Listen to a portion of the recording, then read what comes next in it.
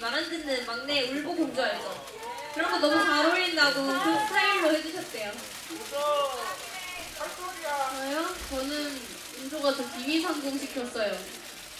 은조는 자기가 설명할 거예요. 아까부터 계속 자기가 이거라고 외치고 다녔거든요. 은조야? 넌 뭐, 뭐라 그랬지? 저는 원래는 중전마마였거든요. 왜냐하면은 제 의상이 저 혼자 이렇게 여기 길어요. 근데 그 마마님들 여기 이렇게 손 놓고 다니는 거 알죠, 페이지? 저는 혼자 중전마마였거든요. 언니들은 다, 어, 아이 언니 빼고는 제 밑이에요. 아이 언니는 대왕 데뷔마마.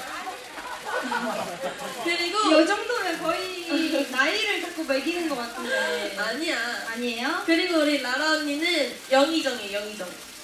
그리고 공주, 제 딸, 공주. 저는 오늘 말말량의 본주 컨셉이에요. 잘 어울리죠?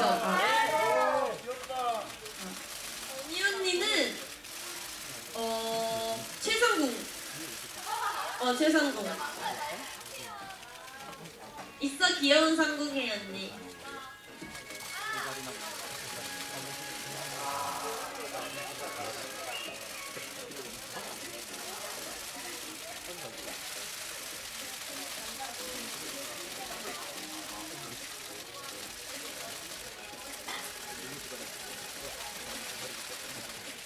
かっていいですよ。